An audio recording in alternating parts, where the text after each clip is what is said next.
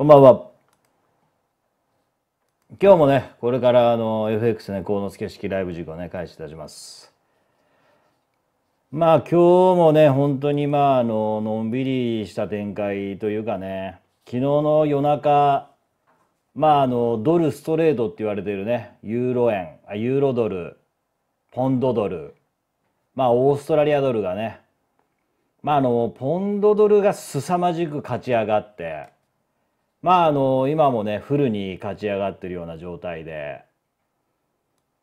まあポンドドルですかね、もう夢みたいな天まで届けっていうね。まああの本当にね、先々週の月曜日の朝ね、夢みたいなあの169円にワープしちゃってね、あの住民問題が、独立問題がっていうね。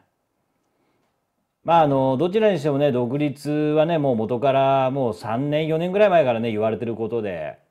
あんなに下がっちゃってよかったのかなみたいなね。まああの本当にねあのポンドマンなんかもあの135円173円の50とか40とかでね絶対上がるっつって買ってね今もう本当に答えは175円の年初来高値で何も予想は間違ってはいないんですけどね。政治的な、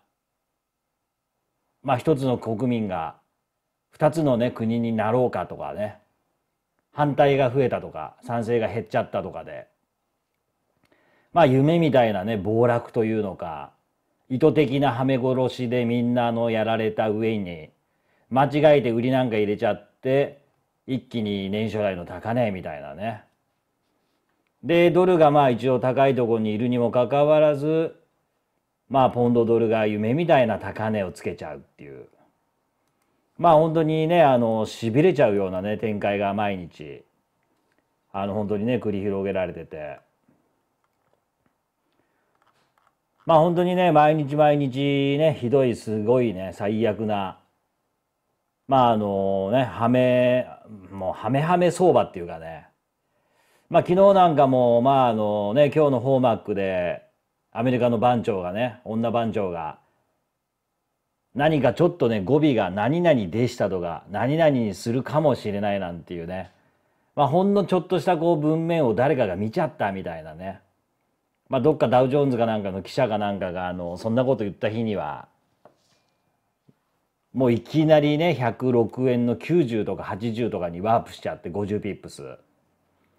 で、ね、下がったと思いきや、みんなね、やべえやべえっつって売りが入ったと思いきや、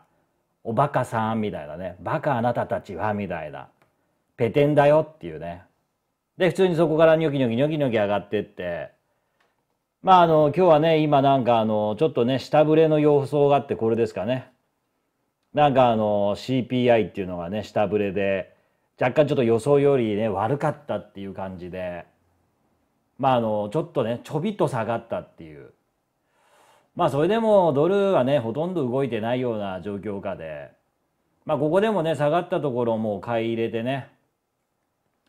まああの本当にユーロドルとかがねもう最近はあのなんかこう暴れ出しちゃってまた。まああのポンドドルもね大暴れしちゃって。売っちゃったやつさようならみたいなね。まあ本当にね売りも買いももうみんな今やったやつが負けて上納するという。まあ本当にねドルは下がっててもお前ら勝手にやっててみたいなねポンドは。俺はもう俺のネタだけで俺の時代で動くから関係ないからねみたいな。まあ本当にねあのもう見てて楽しいというかね。こんなね動きがあるんだっていうような。まあ本当にね相場展開で。男女もねす。まあ本当にね毎日が毎日が本当にこう辛いというかね。まあ正直言っても負けねえといけねえかっていうような展開でもう予想も予測も立たねえっていう。まあ今ね株価が上がろうが下がろうがね本当にまああの毎日がね本当にもう適当に動いちゃってるんでまあね、ちょっとランキングね、ポッチを押してもらって、今まあ10番ぐらいでね、踏ん張ってるんで、まあ、ポッチングね、お願いしますね。